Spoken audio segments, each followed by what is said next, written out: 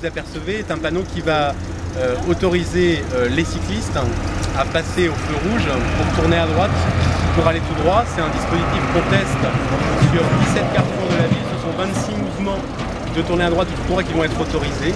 Pour ça, le cycliste doit respecter quelques consignes simples. D'abord, euh, ralentir, ensuite laisser passer toutes celles et tous ceux qui sont au vert, et puis évidemment quand les piétons sont prioritaires, les laisser passer. C'est un dispositif qu'on a souhaité mettre en place, qu'on souhaitait mettre en place depuis longtemps, qui a été rendu euh, légal par le législateur euh, récemment, hein, qui a été inscrit dans le cadre du Code de la route, et donc qui va permettre tout simplement d'améliorer les conditions de circulation et de déplacement des cyclistes et qui vient s'ajouter à la palette de mesures que nous mettons en place depuis désormais 5 ans ici sur la ville.